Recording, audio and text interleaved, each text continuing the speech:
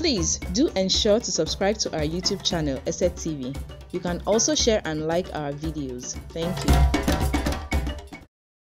Despite the federal government's decision to have the June 12 Democracy Day marked on Monday, some activists and youths made their way to Ojota to protest against challenges of insecurity and general hardship, which they blamed on the government.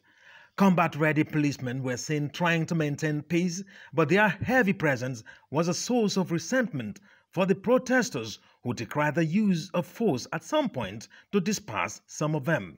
I didn't see any live ammunition, but I did see projectiles and tear gases uh, being shot at people, totally unprovoked.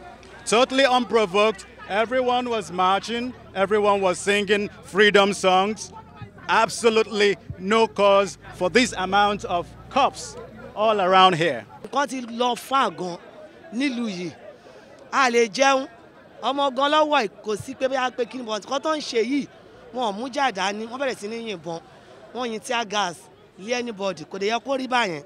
this police they have been shooting they have been shooting and uh, blowing tear gas to us. And we are not even harm anybody we are just in the street stand by ourselves jubilating. so far they have not shot anybody. god they, are, they cannot try it God will not allow if they if they try it they will be in the front.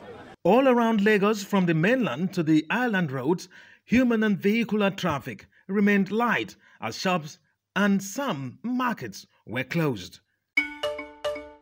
Please do ensure to subscribe to our YouTube channel, ESET TV. You can also share and like our videos. Thank you.